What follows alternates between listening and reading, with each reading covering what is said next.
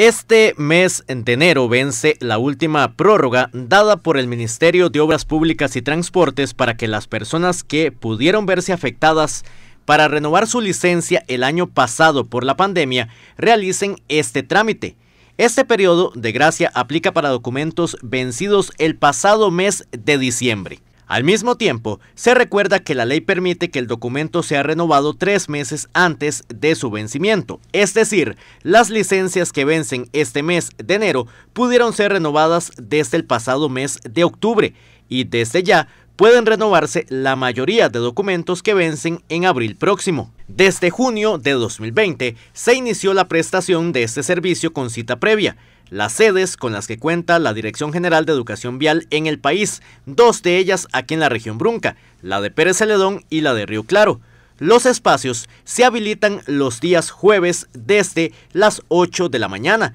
y según los reportes con el que cuenta la dirección del MOB, desde que el servicio se habilitó, nunca se han ocupado todos los espacios para este trámite. Al momento de obtener la cita, el interesado debe contar con el pago por concepto de renovación, máximo 10 mil colones. Debe estar al día con la cancelación de multas o que la misma esté en proceso de impugnación y contar con 5 puntos o menos acumulados por infracciones. Asimismo, el día de la cita debe portar el código del dictamen médico vigente. Tiene seis meses de validez a partir del día que el doctor lo emite y el documento de identificación vigente y en buen estado. Todas las sedes de educación vial trabajan desde las 7 de la mañana y hasta las 3 de la tarde de lunes a viernes, y con los requisitos correspondientes completos, el nuevo documento se entrega de inmediato. Desde el Ministerio de Obras Públicas y Transportes se hace un llamado a todos los conductores para que estén pendientes de la fecha de vencimiento de la licencia